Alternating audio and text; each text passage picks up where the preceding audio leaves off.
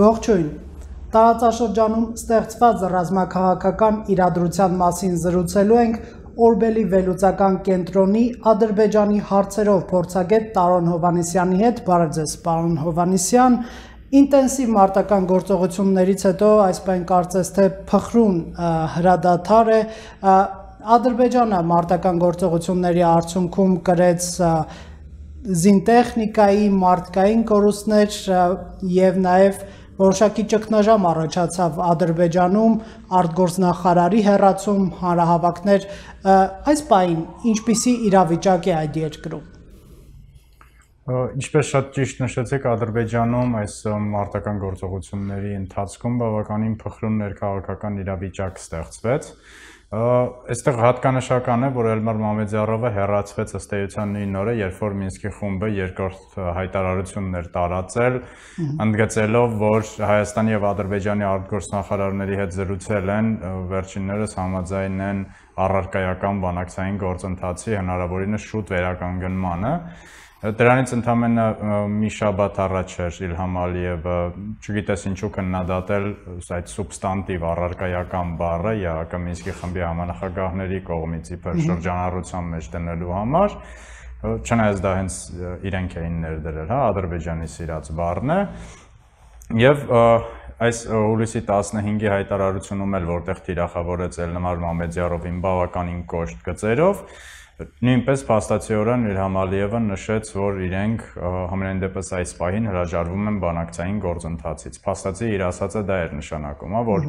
վերջինս անգամ քննադատեց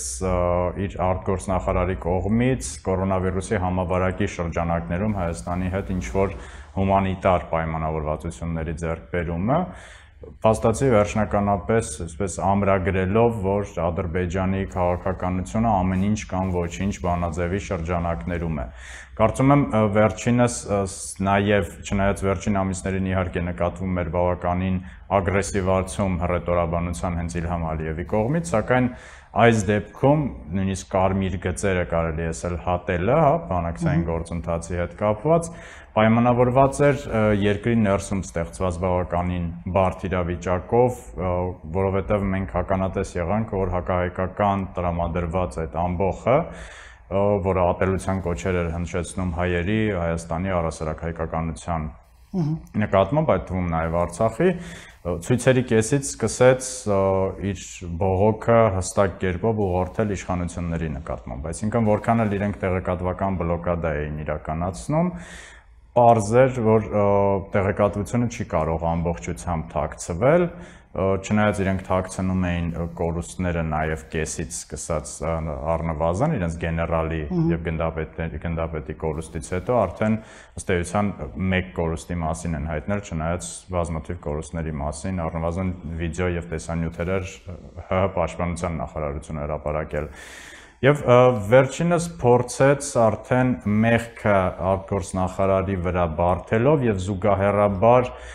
հռետորաբանության ել ավելի կոշտացման փակել այն բացը, այն խնդիրները, որոնք առաջացել էին իրենց հասարակության ներսում եւ իշխանությունների քաղաքականության, ինչպես նաեւ բանակի հանդեպ աճող անվստահությունը ապրիլյան պատերազմում տարածքներ գրավելու հաշվին Ադրբեջանը ունեցավ մի որոշ ժամանակ հայտարարելու, որ ռազմական դիվանագիտական առավելություն է ձեռք բերել Հայաստանի Հանրապետության նկատմամբ։ Վարչապետ Նիկոլ Փաշինյանը այսօր հետևյալ գնահատականը հնչեցրեց,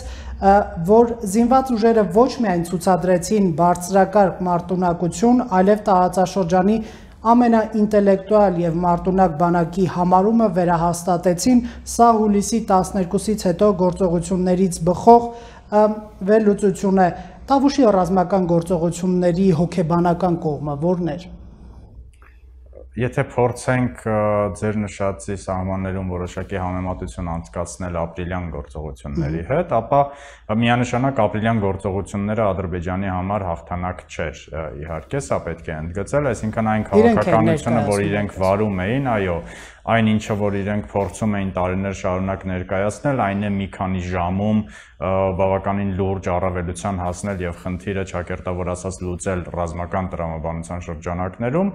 2016 թվականի ապրիլին դա չստացվեց բայց այստեղ մի փոքր նուրբ համեմատություն կա, որ այդտեղ այո, իրենք ունեցան որոշակի թեկուս փոքր բան, որը կարողացան քարոշչության միջոցով հենց Իլհամ Ալիևի մակարդակով իրենց հասարակության ներսում ներկայացնել իբրև հաղթանակ, չնայած ինչպես ընդգծեցի, դա ամենևին իրենց նշածի սահմաններում ոչ միայն հաղթանակ չէր, այլ նաև ձախողում էր ըստ էության բավականին լուրջ, բայց իրենք ունեին որոշակի կետեր, այդ իրենց հաղթանակի քարոշչությունը տանելու համար իբր, հա, եւ նմանատիպ կետերից էր նաեւ միջդիրքային տարածության կրճատումը, օրինակ Նախիջևանում, դա էլ նույն Իլհամ Ալիևը անընդհատ ընդգծում էր ապրիլյան գործողությունների հետ իբրև իրենց հաղթանակ։ Բայց այ Տավուշի գործողությունների արդյունքում իրենք ոչ միայն թեկուզ այդ փոքր բանը չկարողացան ստանալ, որը առարկայական կերպով կարող են ներկայացնել իբրև հաղթանակ, այլ նաև կրեցին անհամեմատ ավելի լուրջ կորուստներ, ինչպես նշեցիք, թե զինտեխնիկայի, թե անձնակազմի քանակով, այդ թվում որակական առումով նաև։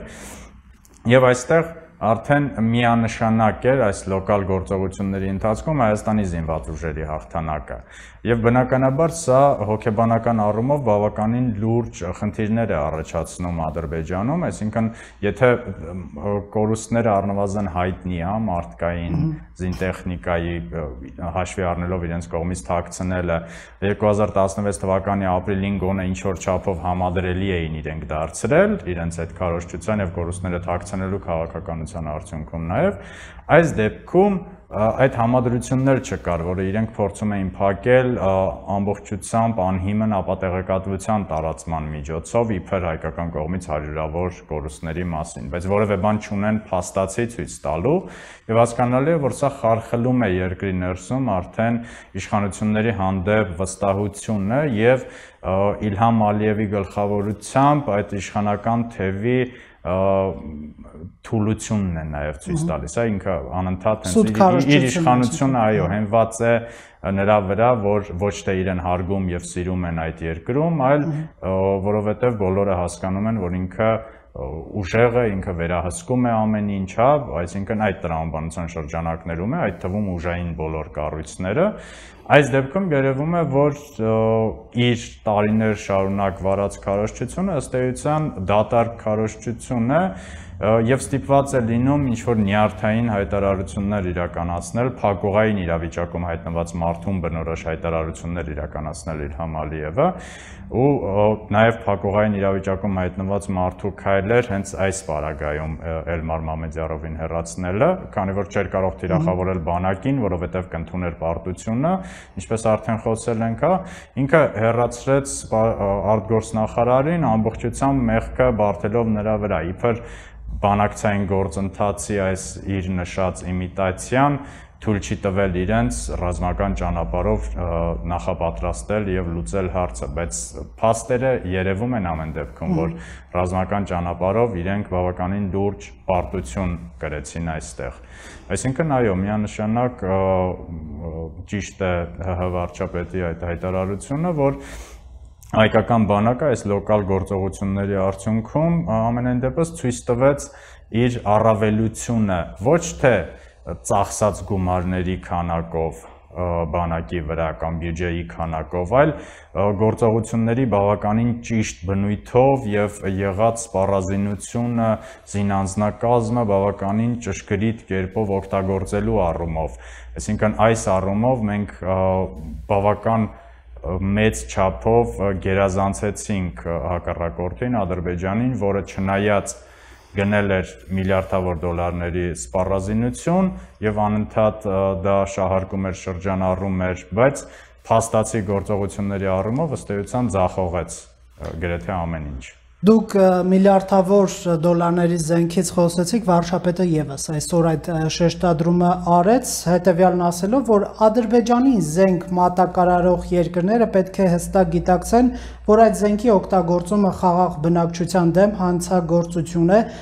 այնպիսի տպավորություն է, որ Հայաստանի զինված ուժերի եւ խաղաղ բնակչության դեմ կռվում է ոչ թե Ադրբեջանը, այլ օտարերկրյա զենք արտադրող կորպորացիաներ։ Պարոն Հովանեսյան, մենք գիտենք, որ խոսքը ըստ երևույթին համաձայն է արդյոք իմ այս դիտարկման հետ վերաբերվում է Ռուսաստանին, Իսրայելին, Թուրքիային, որոշ չափով նաև Բելարուսին եւ Ինչ պետք է հետևի սրան ըստ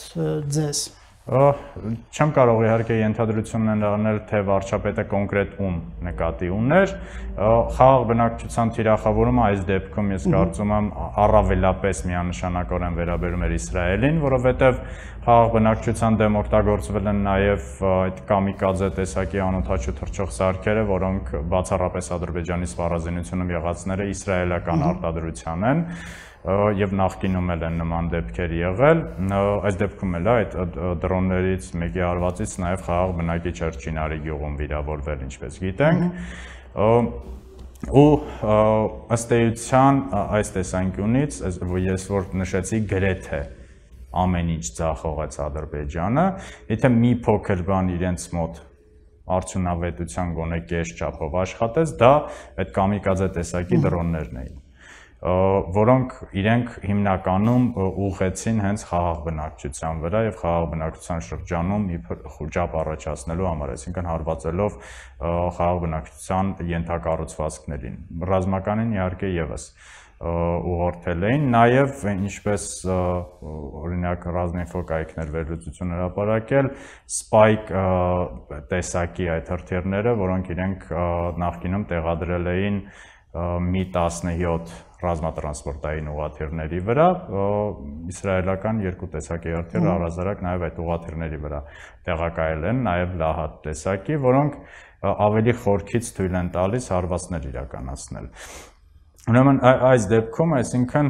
հիմնականում իրենց մոտ աշխատեց այդ տեխնիկան եւ ես այստեղ բավականին լուրջ կասկածներ ունեմ, համենայն դեպս կարծում եմ այդ հարցը պետք է բավականին լուրջ կերպով քննել, որ միգուցե հաշվի առնելով 2017 թվականի նախադեպը եւ Իսրայելում հարուցված քրեական գործը, այդ անօթաչուներն էլ իսրայելցի մասնագետներն են օգտագործել կամ առնվազն օգնել են օգտագործել, որովհետեւ դա ըստեյության միակ բանն էր, որ որոշակի արդյունավետություն ուներ։ Կասկածում եք, որ նրանք են օգտագործել այսինքն։ Ես ամենայն դեպս փորձում եմ հենվել փաստերի վրա, իսկ փաստերը ցույց են տալիս, որ 2017 թվականին Իսրայելում ընկերություններից մեկի դեմ գործ էր հարուցվել քրեական եւ այդ գործի շրջանակներում նշվում էր, որ իսրայելցի մասնագետները Արցախում հայկական պաշտպանության բանակի դիրքերի ուղությամբ օգտագործել էին Ադրբեջանի բանակի այդ կամիկաձե տեսակի անօթաչու թռչող սարքերից, այսինքն եթե մի անգամ արել են, ապա կարծում եմ չի բացառվում, որ երկրորդ անգամ եւս նմանատիպ mm -hmm միջադեպ կարող է լինել եւ դրա ուղղությամբ պետք է իհարկե ուշադրություն դարձնել։ Եվ այո, իհարկե նաեւ շատ ցավալի է, որ ռազմավարական կառույցի մեջ եղած երկրներից, հա, ՀԱՊԿ-ի անդամ երկրներից Բելարուսը եւ Ռուսաստանի Դաշնությունը եւս մահաբեր սպառազինություն վաճառում են Ադրբեջանին, որը միանշանակորեն ուղվում է եւ ցանկացած բահի էլի կարող է ուղվել Հայաստանի եւ Արցախի դեմ։ Նաեւ խաղաղ բնակչության դեմ ոչ միայն Զինուժի։ Նաեւ այո, խաղաղ բնակչության։ Պարոն Հովանեսյան, մենք պետք է համակերպվենք, որ այդ process-ը կոնկրետ Ռուսաստանի հետ կապված չենք կարողանում այդպես էլ կանգնեցնել մեր ռազմավարական դաշնակիցը ՀԱՊԿ-ի անդամ, մենք նույն դաշինքի մեջ ենք, այսինքն մենք պետք է պաշտպանենք իրենց պարտավորություն ունենք իրենք էլ մեզ, բայց այնուամենայնիվ մեր հակառակորդին այդ զենքի վաճառքը այդպես էլ չի դադարում։ Ուրեմն այս քաղաքականությունը առասարակ սկսվել է 2007-8 թվականներից, մինչև այդ թվականները Ադրբեջանը հիմնականում second hand, այսպես ասած, սպառազինություն էր գնում, առավելապես հիմնական գործընկերները Ուկրաինան եւ Բելարուսն էին։ 2006-7 թվականներին, երբ որ նավթային բումը եղավ, դրանից հետո սկսեց անմիջապես արտադրող երկրներից գնել, այդ թվում խոշորագույն գործընկերը Ռուսաստանն է այդ թվականից հետո, երկրորդ գործընկերը Իսրայելն է։ Բելարուսը վերջին տարիներին էլի վերադարձավ արդեն նոր սպառազինությամբ, մասնավորապես Պոլոնեզ տեսակի այդ համազարգի կրակի ռեակտիվ համակարգերով։ Այստեղ խնդիրը ո՞րն է։ Իհարկե մեզ համար խնդրահարույց է թե Ռուսաստանի, թե Բելարուսի կողմից Ադրբեջանին զենքի վաճառքը։ Մյուս կողմից, երբ որ իրենց էս հարցնում օրինակ թե ինչու եք զենք վաճառում Ադրբեջանին, ապա մասնավորապես ռուսաստանյան կողմը նշում է, որ այդ վաճառքի միջոցով իրենք փորձում են հավասարակը շռել, բալանսավորել եւ եթե իրենք չվաճառեն, ապա մեկ այլ պետությունից Ադրբեջանը իր ունեցած գումարներով կգնա եւ կգնի այդ սպառազինությունը։ Սա իհարկե կես ճշմարտություն է, որովհետեւ ոչ ամեն ինչ կարելի է գնել այլ երկրներից, ինչը հնարավոր է ձեռք բերել Ռուսաստանից, այս դեպքում սակայն նաև իրենք մեջ են բերում իրենց բիզնեսի խնդիրները, որ այդ 5 միլիարդ դոլարը օրինակ իրենց ռազմական բիզնեսի համար փոքր գումար չէ, առավել եւս կարծում եմ փորձում են նաև այդտեղ որոշակիորեն ուղերձներ տալ, որ Հայաստանին դե վաճառվում է մի քանի անգամ ավելի էժան, այո, ներքին գներով է վաճառվում, այսինքն միգուցե իրենց բիզնեսը այդքան գումարներ չի աշխատում Հայաստանին տրվող սպառազինությունից, չնայած բավականին մեծ քանակությամբ տրամադրվում է Հայաստանի Հանրապետությանը, իսկ ավելի շատ գումարներ հնարավորություն է ստանում Ադրբեջանին զենք վաճառելու միջոցով։ Այսինքն ինչ եմ ուզում նշել, ես բնավ չեմ ուզում արդարացնել Ռուսաստանի կողմից Ադրբեջանին զենքի վաճառքը եւ իհարկե ցանկալի է, որ այդ քաղաքականությունը այլևս չշարունակվի, բայց եթե մենք ուզում ենք օբյեկտիվորեն մոտենալ խնդրին, ապա ես չեմ կարծում, որ Ռուսաստանի Դաշնությունը կդադարեցնի առհասարակ զենքի վաճառքը Ադրբեջանին վերջինս չնայած ռազմավարական դաշինքի մեջ Հայաստանի հետ, սակայն փորձում է հարաբերությունները բավականին լավ մակարդակի վրա պահել նաև Ադրբեջանի հետ եւ միգուցե նմանատիպ միջոցով վերահսկել առասարակ տարածաշրջանում իրադրությունը։ Այստեղ մի կետ կա։ Մենք տեսանք, որ Ռուսաստանի Դաշնությունը ակտիվորեն սկսեց միջամտել, երբ որ Թուրքիան սկսեց խառնվել, այսինքն սկսեց ավելի, այսպես ասած, հայամետ դիրքորոշում որթեգրել այն բանից հետո, երբ որ Թուրքիան ակնհայտորեն սկսեց Ադրբեջանի կողմից խառնվել։ Այսինքն Ռուսաստանը ըստ էության իր այդ ռազմավարական դաշնակցային հարաբերությունները ավելի հոգուտ Հայաստանի իրականացնելու է միայն մի դեպքում, երբ որ դրսից այլ խաղացող է գալիս եւ փորձում խառնվել հակամարտությանը Ադրբեջանի կողմից, տվյալ դեպքում Թուրքիան է, հակառակ դեպքում իրենց քաղաքականությունը մշտապես լինելու է մոտավորապես այս շրջանակներում է, եթե թեզով փորձենք, ես երկուսիդ էլ վաճառում եմ, դուք իրար հետ ձեր խնդիրները լուծեք, ես չեմ խառնվի կամ կխառնվեմ այն դեպքում, երբ որ դրա անհրաժեշտությունը լինի, իսկ կառավարման այսպես ռեժիմի վրա է ոնց հասկանում եք։ Կարծում եմ, այո, իրենք նաև փորձում են չվտանգել իրենց դիրքերը տարածաշրջանում։ Պարոն Հովանեսյան, երկու օր առաջ անվաղ դիրքի ուղությամբ ադրբեջանական հարցակում տեղի ունեցավ, իսկ Ադրբեջանի նախագահ վարչապետին այսպես ուղված երևի թե ակցիա ինչ որ արտահայտություն կիրառեց, ասելով, որ մեն դեմ դիմաց կռվենք, ռուսներն են ձեզ օգնել եւ այլն։ Ինչ է կարծում, ներքին լսարանի համար այս արտահայտություններով իրավիճակը կհանգուցալուծվի, թե այնուամենայնիվ ամեն պահի հնարավոր է վերսկսում Տավուշի կամ այլ ուղությամբ ռազմական գործողությունների Իհարկե այստեղ բավականին զավեշտալի է, երբ որ դու բառացիորեն 30 վայրկյան առաջ շնորհակալություն ես հայտնում Էրդողանին եւ Թուրքիային քեզ օգնելու համար, հետո 30 վայրկյան հետո այսպես տղայական ռազմորկայի ես ճակերտավոր ասած կանչում, հա, բարի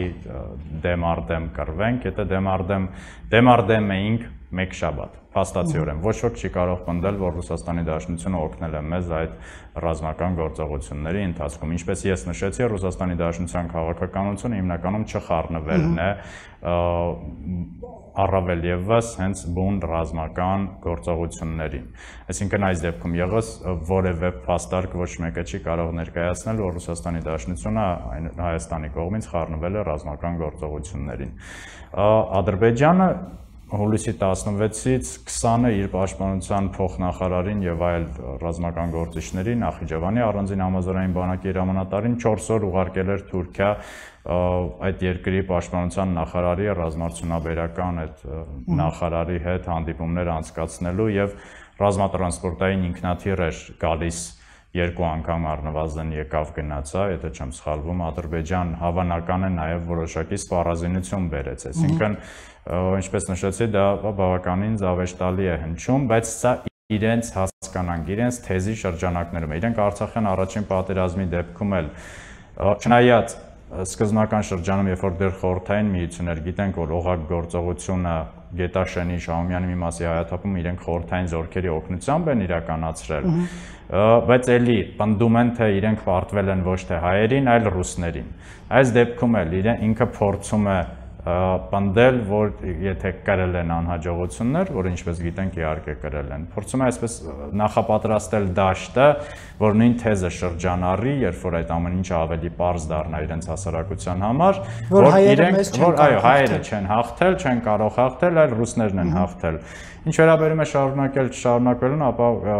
կարճ նշեմ, քանից ես արդեն դրան անդրադարձել եմ, որ չեմ կարծում, որ Իլհամ Ալիևը այս բավականին լուրջ զախողումը եւ պարտությունը կկարողանա կուլ տալ, այսինքն ինքը անընդհատ փորձելու է ինչ որ տեղեր փնտրել ռևանշի հասնելու համար, որովհետեւ սա առաջին հերթին վտանգել է իր իշխանությունը նաեւ եւ իր հեղինակությունը ու սա նաեւ կարծում եմ առաջին հերթին իր համար անձնական խնդիր է արդեն որոշակի առումով դարձել եւ չնայած նույնիսկ իր համար բավականին լուրջ ռիսկերին, հավանական կորուստներին իրենց բանակի շարքերում, ինքը փորձելու է ամեն բան իրականացնել այս հատվածում կամ այլ հատվածներում ռևանշի հասնելու համար։ Խոսք էր գնում Տավուշում հայկական զինուժի կողմից ավելի բարենպաստ դիրքեր զբաղեցնելու մասին, նույնիսկ հրապարակումներ եղան ճիշտ է ոչ պաշտոնական Ղարադաշտ բարձունքի նկատմամբ վերահսկողություն սահմանելու մասին ձեր տեղեկություններով ինչ փոփոխություն ի վերջո կրեց Տավուշի սահմանագիծը Ադրբեջանի հետ այս ռազմական գործողությունների արդյունքում։ Կարծում եմ դեռևս շուտ է տարածքային որևէ փոփոխությունների մասին խոսելը, որովհետև փաստացի այս պահին մենք ունենք հարաբերական հանգիստ իրավիճակ, սակայն չունենք հրադադար եւ փաստացի ռազմական գործողությունները չեն ավարտվել։ Ցանկացած պահի կարող են վերսկսվել ու քանի դեռ ռազմական գործողությունները ըստ էության շարունակվում են, կարծում եմ անիմաստ է խոսել տարածքային